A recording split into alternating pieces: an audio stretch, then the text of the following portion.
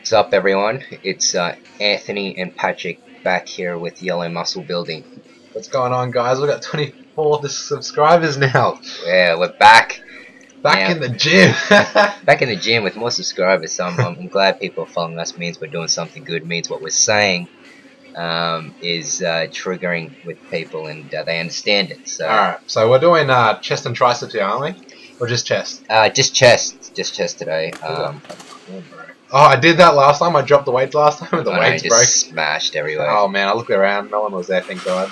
But yeah, um, the reason why I drop them like that is because, It's heavy. yeah.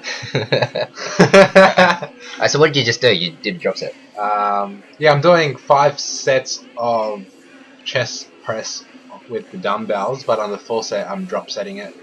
Um, You want to drop it straight away. Don't don't really give your muscles any time to rest. You want lactic acid to build up in those muscles. Alright, so we move on from the um, flat bench press to the incline press. Um, this is probably one of the best exercises you can do for your in, your Upper, upper chest. chest muscles. It's an awesome exercise to get into it. Um, try to stay into the rep range between 8 and 12. We keep um, repeating the shit that we said in other videos. Concentrate, concentrate on your um, the form as well. Yeah, I think um another thing that's new that I'm gonna add to this video that we haven't said before is um control the the negative, the way down. So um don't just let it just drop and then push it back up. You want to control it the way down and then the same way up with um with some um And what I also see in the gym that I don't like is when people do these kind of pressing movements and they arch their back. It doesn't look natural. It doesn't look safe.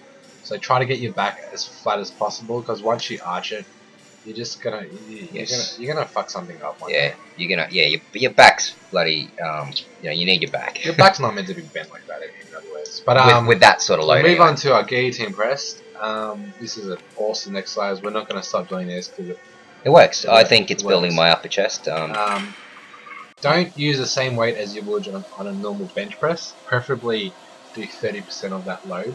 So you want to concentrate on the form rather than lifting heavy.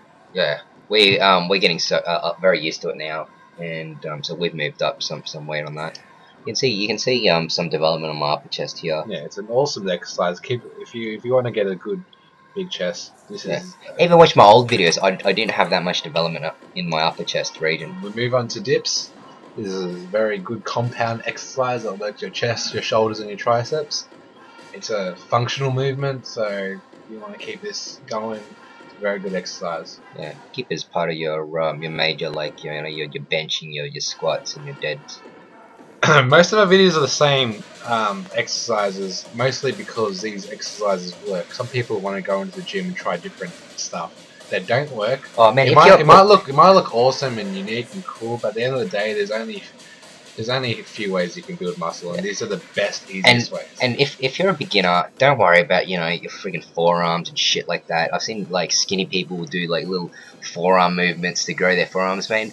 Just concentrate on the bigger lifts, the bigger exercises. Um, you know, don't don't focus too much on the isolation if you're a beginner.